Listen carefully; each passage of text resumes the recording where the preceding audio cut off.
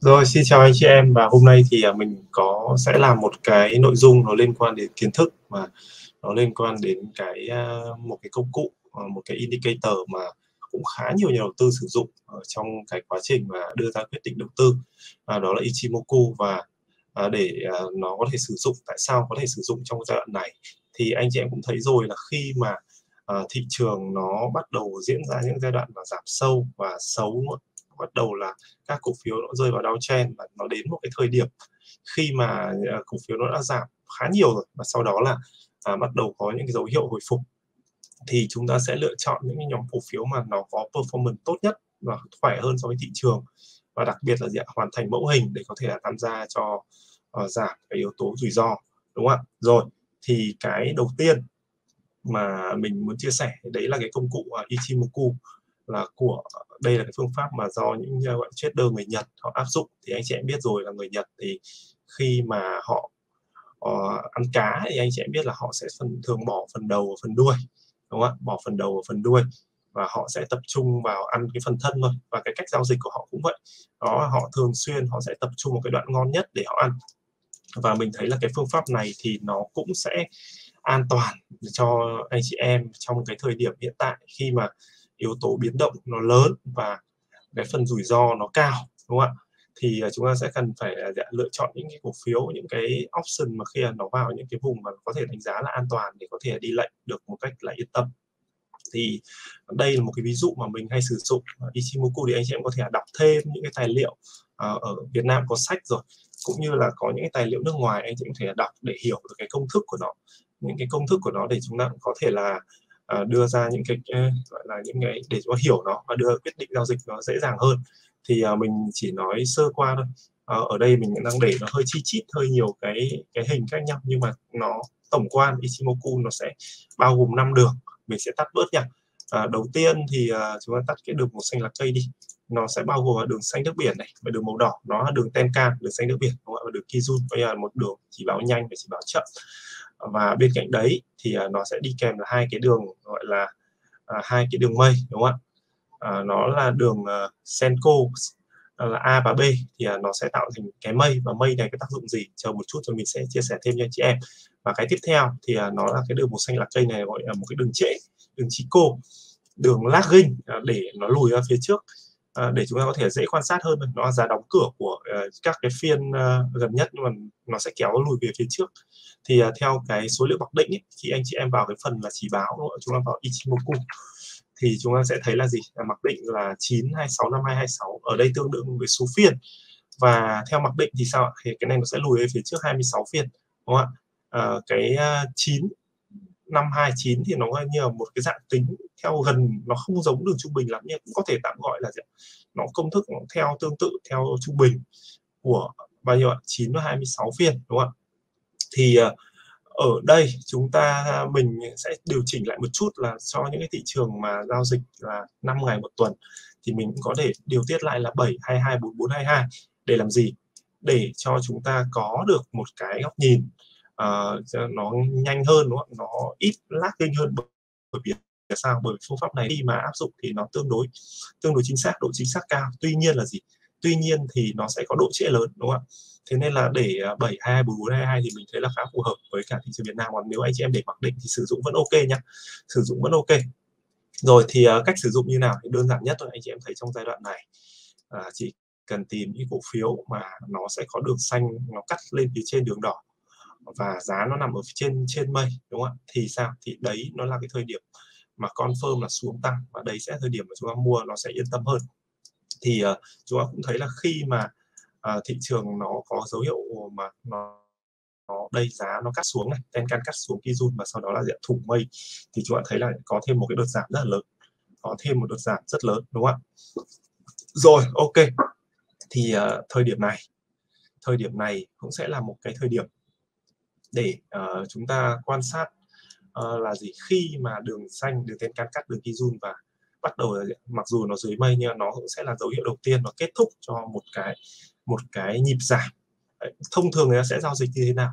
Thường là gì à, trong cái xuống tăng đúng không? thì là khi mà đường xanh cắt đường đỏ trên mây thì sau đấy sẽ là điểm mua vào và khi mà đường xanh cắt xuống thì đó sẽ là điểm bán ra. Và ngược lại trong chiều sọt đúng không thì khi mà xanh cắt đỏ xuống phía dưới mây đấy, thì sao ạ? Thì đấy nó sẽ là điểm để chúng ta vào lệnh và nó khi mà nó kết thúc là nó xanh cắt đỏ. Đấy, đi lên nhưng mà vẫn đang dưới mây. Đấy nó sẽ điểm để chúng ta chốt mà chúng ta khỏi à, ra khỏi cái cái cái chết đinh đấy. Thì ở thời điểm hiện tại đúng không? thì chúng ta vẫn đang thấy xu hướng chung nó vẫn đang là xu hướng giảm. Xu hướng chung vẫn đang là xu hướng giảm đấy tuy nhiên thì chúng ta đang thấy có những cái dấu hiệu mà nó báo trước rồi. Thì cái đấy mình đã chia sẻ trong những video trước đúng không? nói về câu chuyện về phái sinh và những cái dấu hiệu mà của đảo chiều rồi thì uh, bây giờ chúng ta sẽ xem xét đúng không? xem xét cổ phiếu và đánh giá xem là những cổ phiếu nào nó thỏa những tiêu chí. Thì ở đây mình đang lấy cho anh chị em một số ví dụ. Ví dụ như ở đây là bit. Bit là một cổ phiếu mà hiện tại đúng không mình uh, xóa mấy cái trên line đi nhé để anh chị em nhìn cho dễ hơn nhé bit là cổ phiếu hiện tại mà anh chị em thấy là gì? Là thỏa cái điều kiện đúng không ạ? Là sau khi giảm này bắt đầu là vượt lên và cắt lên nó vượt mây thì uh, từ cái thời điểm đó chúng ta thấy là gì? Bit cũng tương đối khỏe. Và nếu bây giờ mà có retest lại test lại cái đường à, màu đỏ đây thôi hỗ trợ đây thôi đúng không và sau đó là tiếp tục tăng thì anh chị em sẽ thấy là đây là một trong những cái cổ phiếu mà nó sẽ là cái cơ hội trong giai đoạn tới. À, cơ, cơ hội trong giai đoạn tới kể cả là đánh giá trong một cái xuống dài nhé nó chưa bị vi phạm nhé rồi xuống tuần thì ờ, ở đây chúng ta đang thấy là gì? Nó đang đi xuyên vào mây và nó đang gặp cái cản ở phía trên là 39 và nếu như vượt được cản thì anh chị em hiểu rồi, đúng không ạ? Vượt cản tức là gì? Là xu hướng tăng. Nó tiếp tục, thì đấy nó sẽ là một cơ hội cho anh chị em để chúng ta có thể vào một cách chắc chắn. Còn thời điểm hiện tại, đúng không? thì chúng ta lưu ý đây sẽ là một cái cổ phiếu mà chúng ta nên để trong whitelist và xem xét thêm trong thời gian tới. Một là diện chờ retest. Hai là chờ confirm, đúng không? Để có thể à, giao dịch cho hiệu quả hơn nhưng mà đây có thể đánh giá là một trong cổ phiếu mà nó đang khỏe trong giá hiện tại. À, có một số cây khác mà mình đang thấy ví dụ như là VIX này anh chị em thấy là diện bắt đầu là xuyên qua mây và bắt đầu là quay trở lại về cái nhịp tăng. Thì à, bây giờ nó đang chờ retest thôi một là cạnh mây hai là đường Izun thì mình thấy là anh chị em thấy đơn giản nhất ấy, là gì? Là điều chỉnh xong nó bật lên đúng không ạ? Mà nó giả sử nó có thủng sau đó nó bật lên nó vượt lại vùng 5960 ấy, thì đấy sẽ là cái thời điểm để chúng ta có thể là đi lệnh và vào hàng nó cũng tương đối là hợp lý. À, đấy là một cái thời điểm vào hàng an toàn trong cái giai đoạn này đúng không ạ? Để tránh những yếu tố khác mà chúng ta có thể đợi confirm một cách chắc chắn để có thể là à, giao dịch. Có một số cây mà mình cũng đang lấy cây study đang có dấu hiệu chớm là hiệu gốc này. À, dấu hiệu chớm này đúng không bây giờ chỉ chờ là gì? Xanh và đỏ xuyên mây thôi là confirm xu hướng tải. thì đấy sẽ một cái nhịp mà cầm anh chị em cầm có thể tương đối yên tâm. À, một số cây khác này thì mình vẫn đang thấy có dấu hiệu sớm nhưng mà chưa được này. Vinhome chưa được này. Vietcombank cũng là một cái tương tự. Vietcombank thì mình cũng đang chờ đợi gì? Nó quay trở lại và vượt vùng 74 thì confirm như thế đúng không ạ? Xanh cắt đỏ và đi lên thì đấy nó sẽ là gì? Nó sẽ là điểm mua. Nó sẽ là điểm mua. Rồi ok. À, một số cây khác thì uh, bây giờ chúng ta sẽ phải chờ thêm đúng không ạ? À, đây ví dụ những cái cổ phiếu giả sử cho thấy về trên này rồi nhưng mà uh, nó vẫn chưa confirm điều đấy đúng không ạ? Thì thực ra là mua cái này nếu mà giả sử anh chị em mua sớm vẫn ok. Mua sớm ok. Và cái nhiệm vụ chúng ta là gì ạ? Nếu mà đợi để chắc chắn thì chúng ta phải đợi confirm đúng không ạ? Confirm thì nó phải vượt qua những cái vùng cản trên này nó có cản 27 uh, à, chấm 5 này cản đỉnh này đúng không ạ? Xuyên mây khoảng 29 30 đấy thì vượt 29 30 nó vẫn là gì? Nó vẫn là một cái uptrend nó vẫn là một cái uptrend đúng không ạ? Thì à, đến lúc đấy thì nó vào lệnh nó sẽ dễ dàng hơn. Ok đấy thì uh, với index cũng vậy đúng không chúng ta vẫn đang chờ đợi uh, cái thời điểm nó thay đổi trạng thái. Còn nếu mà nhìn những cái xu hướng dài thì chúng ta vẫn đang thấy là gì? Đây đây là một cái xu dài thì sao ạ? Uh, index nó về cái vùng mây dưới này đây cũng là một cái support cho index trong giai đoạn này. Hy vọng là gì? Hy vọng là nó có thể giữ được uh, cái vùng này đúng không và sau đó hồi phục lên. Tất nhiên là mình vẫn đang đánh giá là kỳ vọng là gì? Là xu hướng ấy, nó sẽ có cái dấu hiệu là à, nó sẽ có dấu hiệu đảo chiều đúng không ạ? Thì bây giờ chúng ta sẽ phải chờ confirm và chờ những cái dấu hiệu setup từ phái sinh trong giai đoạn tới. Tất nhiên với phái sinh thì mình sẽ không dùng Ichimoku để giao dịch cái này phải nốt thêm cho anh chị em lý do vì sao. Ichimoku nó thường là độ trễ rất lớn và giao dịch phái sinh thì anh chị em khó lòng mà có thể là à, giao dịch được như vậy bởi vì trong phiên nó sẽ có nhiều biến động. Đó thì à, uh, chúng ta sẽ sử dụng những cái à, công cụ khác những kỹ năng khác đúng không chúng ta chỉ cần thấy là gì? Trong những phiên gần đây là lượng vốn vẫn sọt rất lớn nhưng kết quả nó yếu có nghĩa là nó đang uh, tuân thủ cái nguyên tắc là gì? Là nỗ lực hiệu quả. Thì uh, nỗ lực lớn nhưng mà hiệu quả không có nhiều. Thì đấy nó thường là một cái dấu hiệu cho đảo chiều dấu hiệu báo sớm cho đảo chiều. Thì bây giờ chỉ việc chờ là gì tạo đáy hai và sau đó quay đầu đi lên đúng không? Đấy, vượt lại cái đáy cũ là chúng ta có thể long được rồi thậm chí là gì vượt cản chéo thì đấy sẽ là một cái điểm mà để chúng ta long tiếp à, để cho nó diện à, cho ăn một cái nhịp hồi hồi phục đúng không? Rồi ok đấy là một số cái đánh giá giai đoạn này.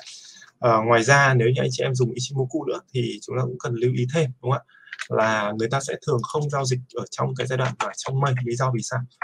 À, lý do là bởi vì là à, đấy là một cái vùng mà tín hiệu nhiễu và người ta sẽ thường là bỏ qua và chờ đợi quan sát để confirm là thường là ví dụ đấy là giai đoạn đầu cái chúng ta có thể mua được sớm nhưng mà nhưng mà sao ạ? Nhưng mà nó sẽ phải chịu những cái rung lắc à, hoặc là nó sẽ có những cái biến động khó lường ví dụ đi lên sau đó lại giảm tiếp đúng không ạ? Bởi vì sao ạ?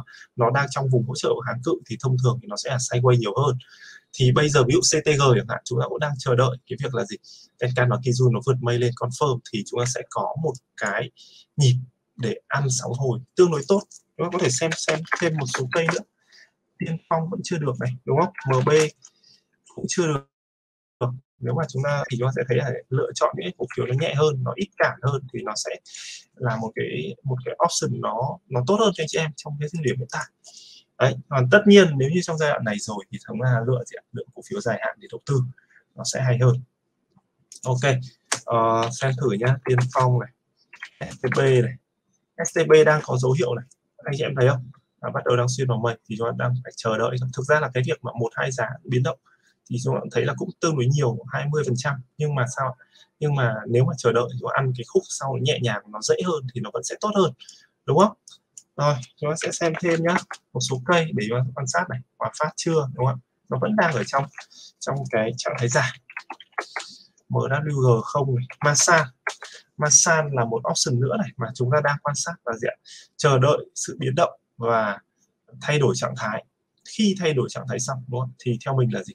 Là thời điểm vượt được vùng 93 đấy để có gì? Để có thể là chuyển đổi sang một cái cái vùng mà nó nhẹ nhàng hơn. À, và Tenkan và Kijun nó phải vượt qua mây đã. Thì giá khi nào mà biến động vượt qua được thì đấy nó sẽ là cái thời điểm để chúng ta vào lệnh đấy, thì đây cũng sẽ là những cái mà chúng ta có thể đưa vào watchlist và chờ đợi quan sát đúng không? Trong giai đoạn này thì kiên nhẫn nó sẽ là một cái à, một cái khá tốt cho anh chị em để có thể tìm được những cái cơ hội để nó ăn những cái sóng hồi nó chất lượng. Tìm được những cơ hội ăn sóng hồi chất lượng. Rồi đấy thì à, đó là một số cái và nếu mà để về khung thời gian thì mình sẽ chia sẻ thêm này chúng ta nên tạm thời là sử dụng khung daily trước nha. Khung weekly và khung tháng thì nó dành cho câu chuyện để chúng ta giao dịch với cái khung thời gian dài hơn và à, giữ lâu hơn. Đấy, và nó cũng sẽ có những con confirm nó chính xác hơn đương nhiên rồi đúng không ạ? Nhưng mà trước mắt là chúng ta sẽ phải xem những dấu hiệu bởi vì sao? Trạng thái nó sẽ thay đổi từ khung ngắn sang khung dài. Khung ngắn nó sẽ thay đổi trước sau đó mới đến khung dài đúng không ạ?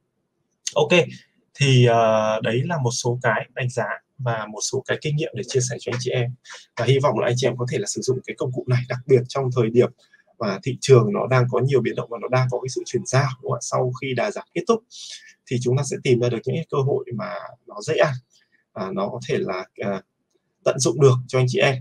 Đấy, và hy vọng anh chị em thích video này và nếu như anh chị em có thể có nhu cầu mà tìm hiểu thêm thì chúng ta có thể là lên mạng để chúng ta nghiên cứu đúng không ạ?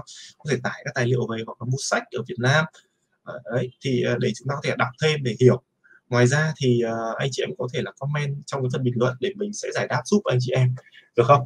Rồi ok thì uh, video hôm nay đến đây là kết thúc. Và nếu như anh chị em thấy thích video này và chúng ta thấy là có ích thì hãy cho mình xin một like một subscribe cái kênh youtube của thành profit và uh, có thêm những ý kiến chúng ta có thể bổ sung trong phần bình luận. Đấy. và hy vọng là chúng ta có thể tìm ra được những cái cơ hội trong cái thời điểm tới. Và chúc anh chị em giao dịch hiệu quả và hẹn gặp lại anh chị em trong video tiếp theo xin chào hẹn gặp lại chị em. Bye bye chị em.